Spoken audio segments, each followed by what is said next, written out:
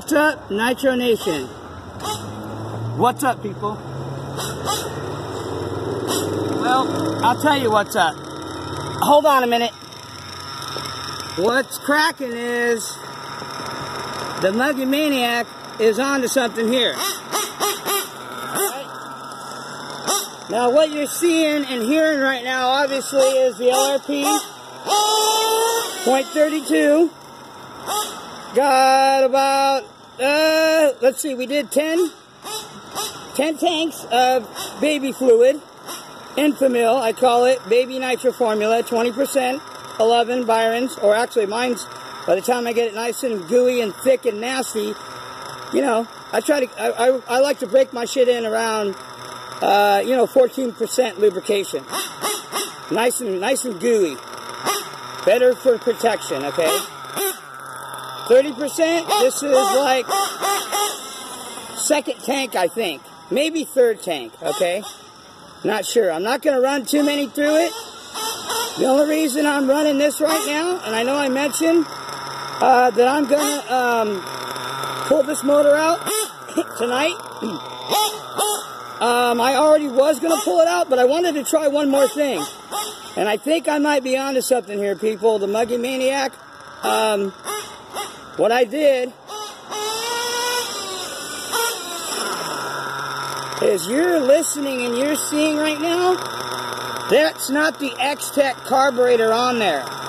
That is a Kyosho MP9 TK14 carburetor off of my OFNA running on that LRP .32 right now. Okay? And running very well.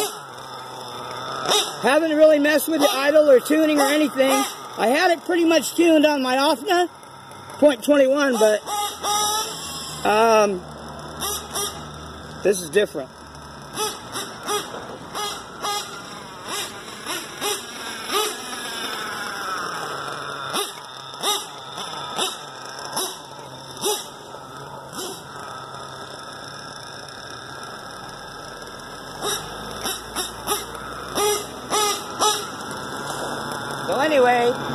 I'm going to let you watch it, hear it, and listen to it rap.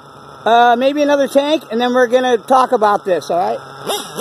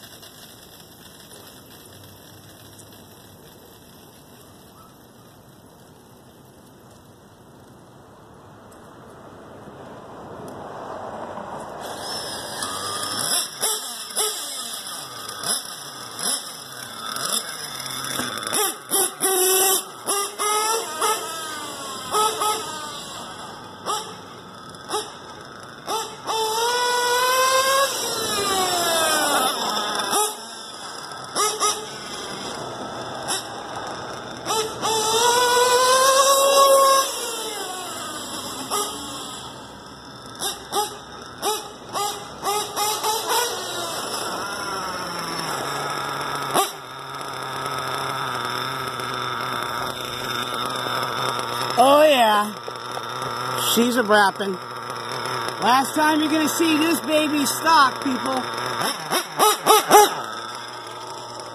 So she's on her way to Rick.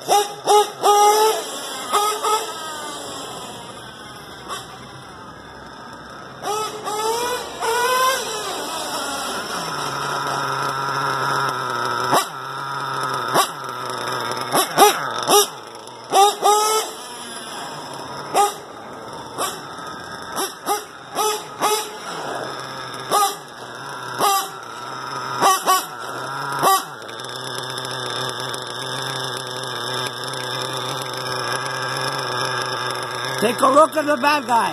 Because this is the last time you're going to see this bad guy stuck. Okay.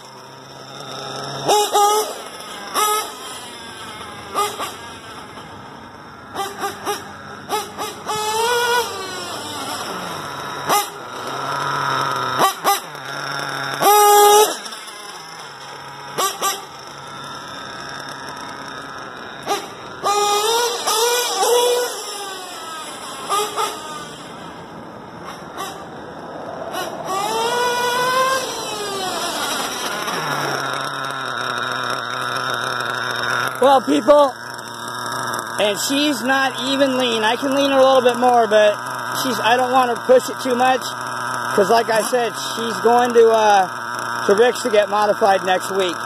Um, so I'm gonna let you guys check out this quick video.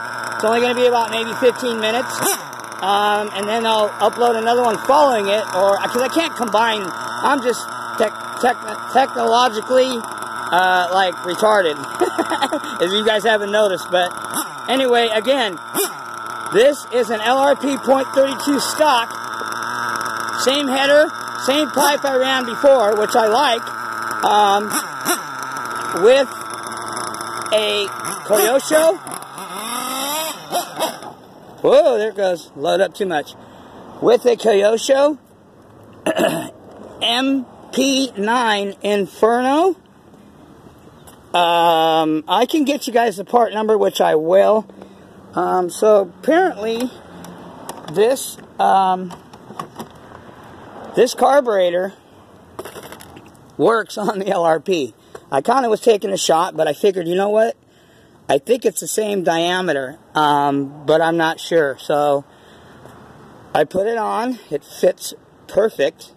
Um,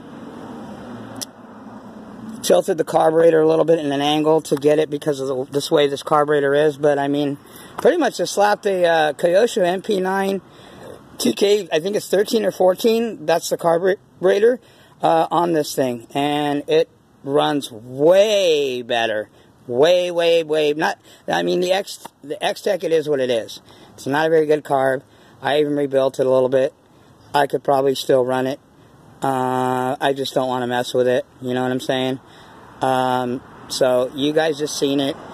The again the Kyosho MP9 TK14 um, carburetor fits and works fine so far on an LRP .32. Now we'll see how that does because it only has because of this it's a point it, the carburetor is for a point 21 but the carburetor um, I did mill out the Venturi because as you know point 21s they only come with Um, the Venturis are only, I think, maybe an 8.8, whatever.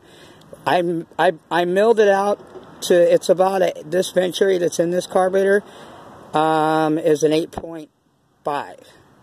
So, not a 9, 8.5. Now, I, there's another one that comes with this that I'm going to mill it all the way out to a 9. Hell, I might even go a 9.5. What the hell? You know what I'm saying? But at least it's going to be a 9. Uh, I believe it, there's only an 8.5 Venturi on here right now, but that's fine because it's breaking in.